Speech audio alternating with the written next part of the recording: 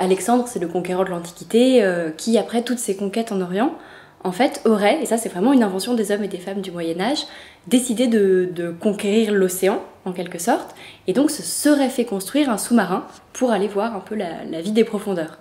Et souvent, ce sous-marin, il est représenté comme un tonneau euh, tout en verre. Donc vraiment, pour le, Moyen Âge, c'est une merveille technologique, c'est quelque chose qui est euh, totalement impossible à cette époque.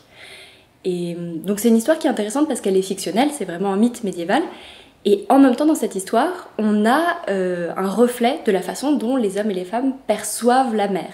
On a à la fois une volonté de conquête, hein, c'est vraiment euh, l'Alexandre le Grand conquérant, et en même temps, il y a une sorte de fascination, de peur, parce qu'on ignore en fait totalement ce qui se trouve euh, sous la mer. C'est un, espace qui fascine le Moyen Âge et qui fait peur, et les deux vont vraiment ensemble. Et, et cette fascination, elle se traduit en fait par l'invention de toute une série de monstres pour le Moyen Âge, et les plus connus, les monstres marins qu'on imagine, c'est euh, la baleine de Jonas, donc on imagine comme un vrai animal.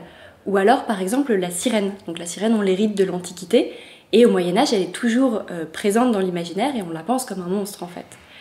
Et toute cette, fantasmagorie, elle va vraiment de, de pair avec une peur de la mer qu'on ignore un peu. Et ça pour des raisons très très simples, c'est que les naufrages sont très fréquents. En fait, prendre la mer au Moyen Âge, c'est risquer sa vie immédiatement les sociétés côtières ont besoin de la mer pour vivre, euh, il y a des pêches quotidiennes qui sont organisées, il y a aussi des grandes pêches à l'échelle de l'Occident, comme les pêches de hareng. Et puis après, ça dépend des régions. On a des régions avec des marais salants, des régions avec des moulins à marée, qui fonctionnent avec le mouvement de la marée. Certaines régions où se pratique la pêche à la baleine dès le haut Moyen Âge. Donc toute une domestication qui irrigue un peu l'économie côtière et plus loin dans les terres. Et évidemment, ça, ça déclenche euh, à l'échelle supérieure des rivalités politiques, parce que maîtriser la mer, ça devient maîtriser énormément de richesses. Et donc, dès le haut Moyen Âge, on a des grandes rivalités politiques euh, qu'on associe à des pouvoirs qu'on connaît. Les vikings, par exemple.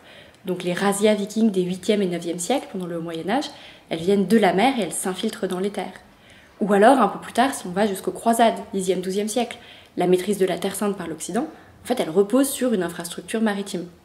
Et donc, autour de la mer existe à la fois cette vie très quotidienne, euh, des hommes et des femmes euh, banales, en fait, et puis euh, tout cet ensemble de rivalités euh, politiques permanentes. Et ça, c'est intéressant parce que ça montre que l'époque des grandes découvertes, le XVIe siècle, qu'on imagine comme une transformation totale, c'est pas du tout une transformation totale. C'est un moment où le verrou technologique saute.